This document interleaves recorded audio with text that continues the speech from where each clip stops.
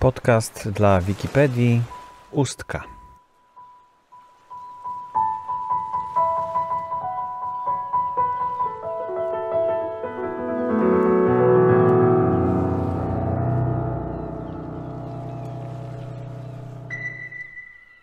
Marcin Barnowski, zasadniczo jestem przewodnikiem po Ustce i okolicy, ale także badam historię tego miejsca, także w archiwach. Ostatnio wróciłem z archiwów niemieckich, no i o Ustce mógłbym mówić godzinami, a ponieważ mamy tylko parę minut, jak rozumiem, e, to powiem tak. Bardzo ciekawa jest osada e, dawnych żeglarzy i rybaków, czyli to jądro Starej Ustki, e, typowa owalnica, cały ten układ ulic jest pod ochroną konserwatorską, bo zachował się w sposób idealny. Oczywiście to nie są te same domy, to nie są te chałupy rybaków, y, które były niegdyś, ale y, parcele w zasadzie są tak samo usytuowane, bieg ulic jest taki sam. E, no i domy też nawiązują klimatem architektury e, do tej dawnej rybackiej, szachulcowej architektury. E, bardzo ciekawa jest dzielnica letniskowa, która powstała na przełomie XIX i XX wieku.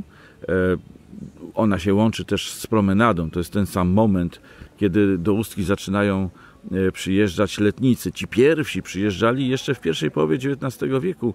W zasadzie mam udokumentowanego pierwszego usteckiego letnika, to był Friedrich Ernst Schleiermacher, teolog, filozof, poeta niemiecki, który pracował jako kaznodzieja w kościele, dzisiaj to jest kościół świętego Jacka w Słupsku, no i jak był w Słupsku przeżył głęboki zawód miłosny, zakochał się w mężatce, ta mężatka dała mu kosza i tu właśnie w Ustce wiemy o tym z listów, które pisał. W 1803 roku pod koniec lipca szukał wytchnienia, szukał pociechy, próbował odpocząć po tych burzliwych, osobistych przeżyciach. No i wreszcie wydaje mi się, że to jest też bardzo ciekawy aspekt historii Ustki, aspekt wojskowy, aspekt militarny. To jest brzeg morza, a więc e, granica, miejsce, e, gdzie mm, stykają się e, dwa żywioły, ląd i morze, ale także jest to granica państwa, w sensie politycznym też taka bariera, którą E, starano się bronić. Pierwsze fortyfikacje, jakie, o jakich wiemy, że tutaj budowano, pochodzą jeszcze, pochodziły, nie zachowały się, ale pochodziły z XVII wieku. To były takie specjalne zabezpieczenia, żeby do portu nie wpłynęły e, najezdnicze okręty. Potem wojna siedmioletnia, okupacja rosyjska, sporo szczegółów znamy z tej okupacji. Potem szaniec zbudowany w maju 1801 roku w miejscu, gdzie dzisiaj jest promenada. Dokładnie znamy to miejsce, wiemy nawet z dokumentów właśnie, które przywiozłem teraz z Greifswaldu, że tam była część podziemna, więc to nie był taki zwykły szaniec, okop, ale tam były też jakieś e, pomieszczenia podziemne. W 1811 roku e, koczowali w tym podziemnym e, szańcu chłopi z okolicznych wiosek, których obarczono takim przykrym obowiązkiem, żeby pilnowali przestrzegania blokady kontynentalnej. Tutaj wtedy kwitł przemyt, handlowano z angielskim kapitanem Rossem, który podpływał do e, brzegów Ustki. E, no a ponieważ władze francuskie e, narzuciły na Prusy obowiązek stosowania się do tej blokady kontynentalnej, władze pruskie starały się ten przemyt ograniczać, no ja bym powiedział, że wręcz zwalczać, ale robiono to trochę nieudolnie i ostatecznie wiemy, że tu parę fortun wyrosło wtedy takich. Więcej osób zarobiło po prostu. Tak, tak, ale, ale no wie, to są takie ciekawostki. No i oczywiście te fortyfikacje, które się zachowały, to są fortyfikacje z czasów e, II wojny, e, a w zasadzie tuż przed wybuchem II wojny światowej, to są bunkry Blisiera. E, no i te fortyfikacje, które ciągną się tutaj na zachód od nas, fortyfikacje batalionowego rejonu umocnionego i inne, które budowano tu w czasach komunistycznych. I właśnie przy tych bunkrach jesteśmy. Fantastyczne miejsce, takie, żeby zrobić sobie przystanek podczas podróży. ale również jest to fajne miejsce na spędzenie chyba całego dnia, mam wrażenie, tutaj w Ustce, co najmniej całego dnia, bo e, i atmosfera ładna, tutaj jest e, godzina 11 niecała w tej chwili i naprawdę zaczyna się tutaj fajnie, e, wycieczki rowerowe, e, bunkry, można zjeść pewnie grochówkę, z, to już właściwie pewne jest, że grochówkę można zjeść. Wycieczki piesze też. Wycieczki piesze też. Staramy się, żeby to było takie centrum. Każdy, kto chce poznać region, no ja prowadzę też biuro przewodnickie, więc e, każdy, kto chce poznać region, to zapraszamy do nas. Poznajemy region z rowerów, poznajemy na wycieczkach pieszych.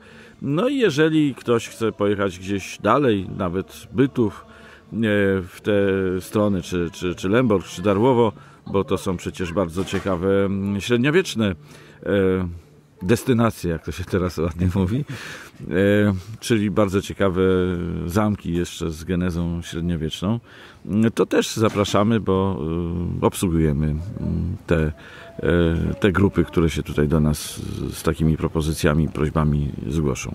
A także rekreacja taka ruchowa, strzelanie z łuku, łuk tradycyjny.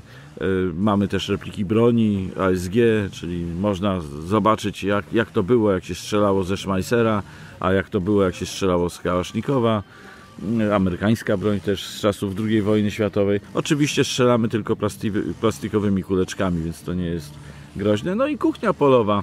Najstarsza nasza kuchnia polowa to jest dokładnie taka, e, w jakiej Gustlik utopił kucharza w czterech pancernych. Tak? To, to właśnie o ta tutaj, ta e, po lewej stronie.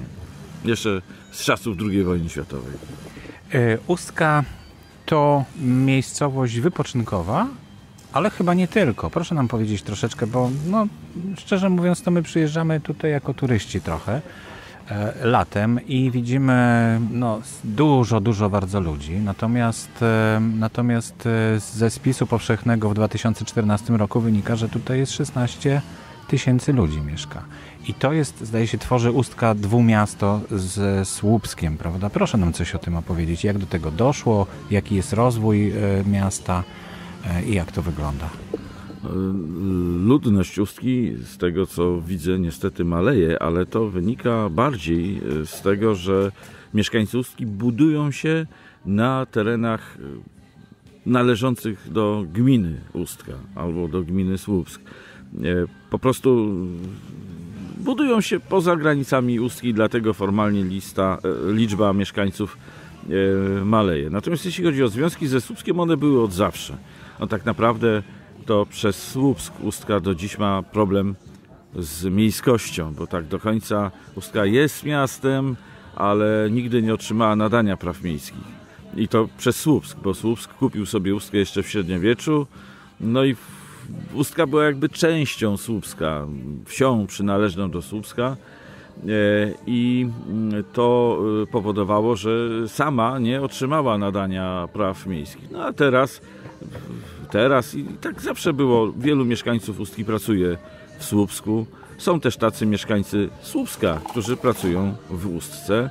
E, Komunikacja jest bardzo e, sprawna, bardzo dobrze rozwinięta. Dojeżdżamy między jedną a drugą miejscowością w 20 minut się przemieszczamy samochodem, może nawet trochę szybciej. E, I jest to jakby jeden wspólny organizm. Kulturalne imprezy w Słupsku, wielu mieszkańców Ustki z tego e, korzysta. No Słupszczanie przyjeżdżają na imprezy do Ustki. To dwumiasto funkcjonuje obojętnie, czy, czy będziemy o tym mówić w sensie, że tu podpisujemy jakieś umowy, e, czy też i bez tego, to, to po prostu jest, no bo to jest bliskość, to, to jest taka fizyczna bliskość Ustki i e, Słupska.